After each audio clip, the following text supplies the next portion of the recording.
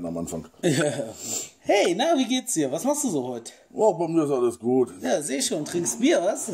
Ja, natürlich. Und Ja. bei dir, was hast du heute noch so vor? ja, ich wollte eigentlich ein Video drehen und ich weiß ja, du bist ein perverses, krankes Schwein, bei dem man alles machen kann. Ja, und was schwebt dir da so vor? Ja, ich wollte einfach mal vor laufender Kamera einen Nagel rausziehen.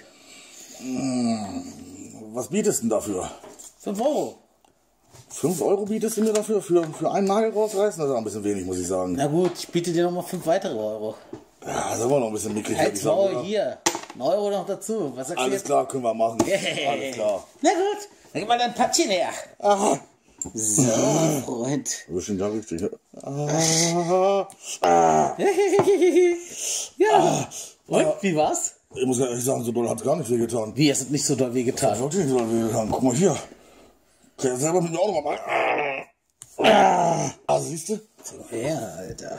Ja, das sieht schon ganz schön kacke aus.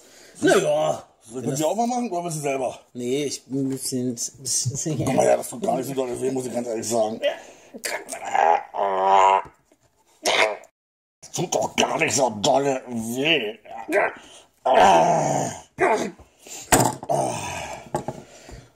Okay. Äh, tschüss. Tschüss. Sehen uns.